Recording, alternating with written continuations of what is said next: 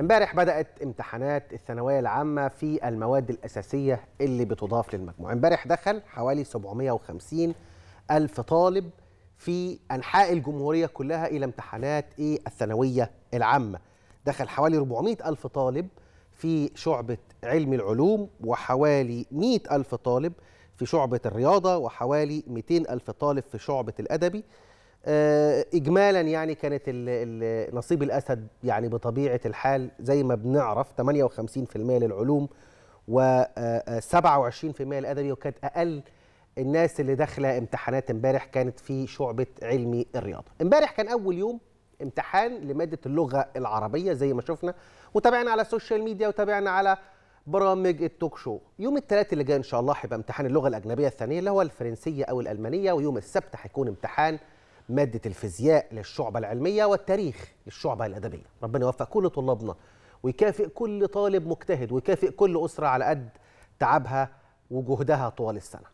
يمكن إحنا امبارح تابعنا مع بعض على الهوا بداية امتحانات الثانوية العامة وشفنا يمكن الطلبة وهم آه، بيدخلوا آه، الامتحانات. كنا قدام مدرسة جمال عبد الناصر وشفنا كمان الأهالي اللي كانت آه، بتقف تساند أولادها بره المدارس. إن شاء الله الامتحانات تمر بخير وسلام وبالتوفيق لكل الطلاب اللي بيمتحنوا. وفي الوقت ده بالحقيقة بيكون مطلوب من كل الأسر اللي عندها طلاب في الثانوية العامة إن هم يحاولوا على قد ما يقدروا يوفروا لهم الأجواء المناسبة للمذاكرة والمراجعة من غير قلق من غير توتر. من غير ما يضغطوا عليهم عشان الطالب يقدر إن هو يحافظ على تركيزه في فترة الامتحانات. فلو إحنا عندنا طالب بيحب يذاكر بطريقة معينة وهي دي اللي بتريحه بلاش إن إحنا نضغط عليه ونفضل نقول له لا أنت لازم تعمل حاجة تانية سيبوه. هو خلاص في الوقت ال ال أو في العد التنازلي وهو عارف هو هيبقى بيعمل إيه. فكل الدعم منا وكل الدعم من الأهالي بيبقى مطلوب في الوقت ده بالذات.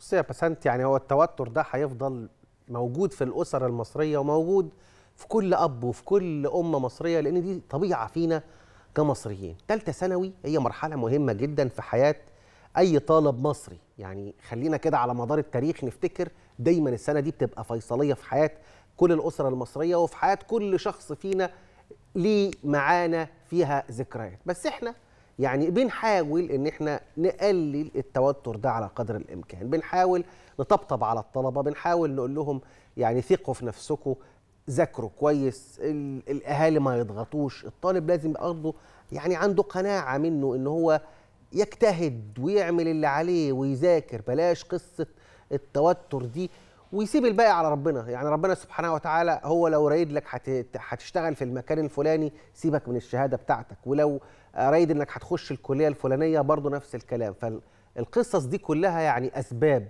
ويا ما شفنا ناس دخلت كليات ما اشتغلتش فيها ويا ما شفنا ناس دخلت كليات قمة ما كانش ليهم أي حاجة بل فشلوا فيها. فملناش علاقة بالقصص دي كلها.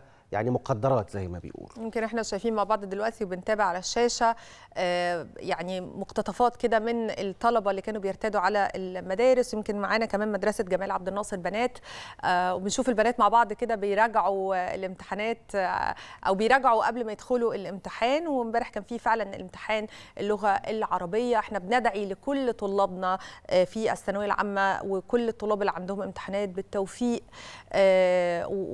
ويا رب كده إن شاء الله تعملوا اللي أنتوا عايزينه وتوصلوا للي أنتوا عايزينه. النهارده هنتابع بالتفصيل كده مع حضراتكم آه، إيه اللي هيحصل في الامتحانات وإزاي تاني زي امبارح كده الطلبة وهي داخلة آه، الامتحانات يعني بيحبوا يرجعوا مع بعض وإحنا هن- هنعرف. منهم كمان آه، بعد الامتحان إيه اللي هيحصل إن شاء الله. ونر- ونراجع كده مع بعض بكرة. أنت كان ليك يعني طقوس معينة قبل دخولك أي امتحان في الثانوية العامة؟ والله بصي إحنا على أيامنا طبعا ما كانش فيه التسهيلات اللي موجودة دلوقتي. إحنا بنشوف دلوقتي حاجات بوك و... بنشوف الإنترنت موفر كل حاجة.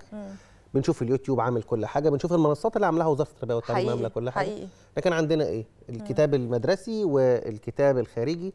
ولو بتاخد درس ولا بتاخد مش عارف مجموعة ولا بتاخد مجموعة تقوية والكلام الحاجات البسيطة ال- اللي على أيامنا يعني كانت هي المتنفس الوحيد إن أنت يعني تجتهد. ما كانش عندي طقوس. كنت بذاكر كويس وكنت بروح الامتحان وكنت بنام كويس. أهلي بصراحة ما كانوش بيضغطوا عليا. يعني كان عندهم حاجة. الحقيقة يعني الدعم من الأهل. آه الميزة دي ذاكر يا ابني ذاكرت إحنا واثقين فيك. وده اللي خلاك إن أنت بني آدم من وأنت صغير تبقى عارف إيه؟ يعني آه بتاخد قرارك بنفسك. فأنا عشان كده بقول لكل طالب هي مسألة بينك وبين ضميرك. لو هتذاكر أنت اللي هتنجح وأنت اللي هت إيه؟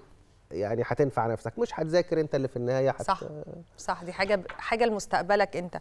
لكن متهيألي كمان من أهم الحاجات إنه ما تراجعوش مع صحابكم بعد الامتحان. لأنه لو رجعتوا ولقيتوا آه في حاجة أنتوا عملتوها غلط أو اتنين أو تلاتة هتبتدوا تحسوا إن أنتوا ضيعتوا الدنيا في اللي فات. ف... فهيوتركوا جامد في اللي جاي. فأنا مم. أنا أنا شخصيا بشوف إنه بلاش نراجع قوي بعد الامتحان. سيبوها على ربنا وإن شاء الله طالما أنت عملت اللي عليك ربنا سبحانه وتعالى هيجازيك خير على اللي أنت عملته وما تقلقش إن شاء صحيح. الله أي حاجة بعد كده هتبقى لكل مجتهد. نصيب. بالظبط.